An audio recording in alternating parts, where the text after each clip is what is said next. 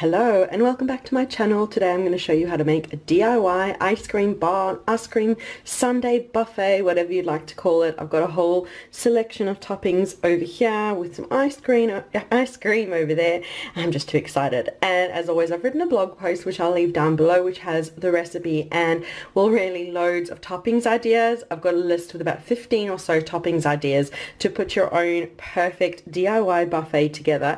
And I find this is really budget friendly friendly because you can raid your cupboards and you could just go to the store, get some vanilla or any other flavored ice cream and toppings depending on your budget. So it's really budget friendly and I find kids love it, adult loves it. It's just all around a crowd pleaser. So I've got just got some plain vanilla ice cream over here. I went to Aldi and got the ice cream so it's, as I said, super budget friendly. We've got some chocolate dessert sauce over here. You can have chocolate sauce, strawberry sauce, caramel sauce. You could make some lemon curd. Um, we've got some veggie worms, some lovely jelly worms. You can get sour worms if you want, gummy bears, really anything that's gummy that kids absolutely love.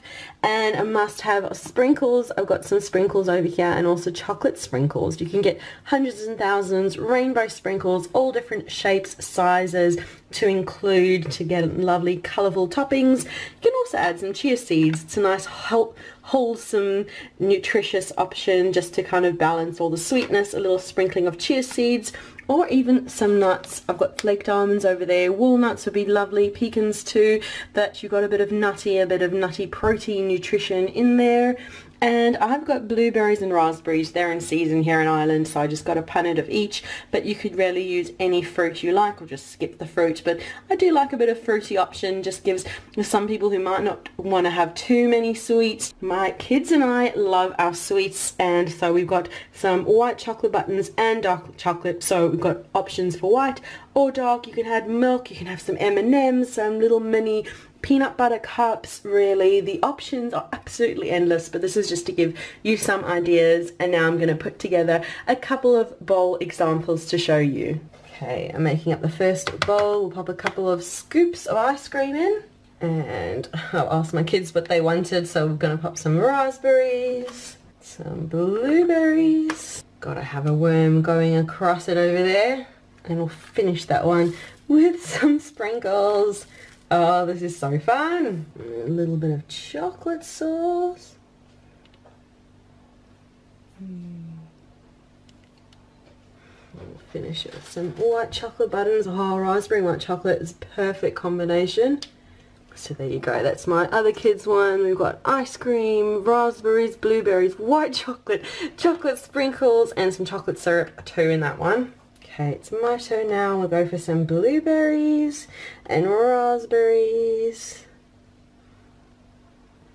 I like a good veggie worm.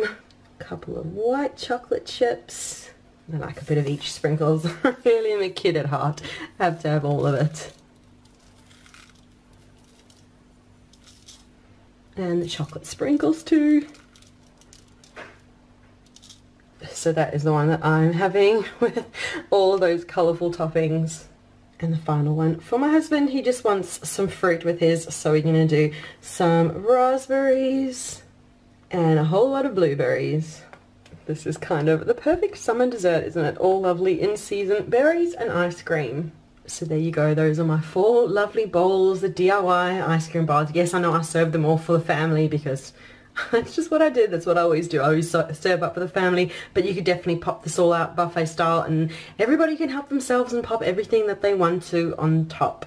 So that is the video for today for this lovely DIY ice cream bar with do all your own ice cream buffet sundaes.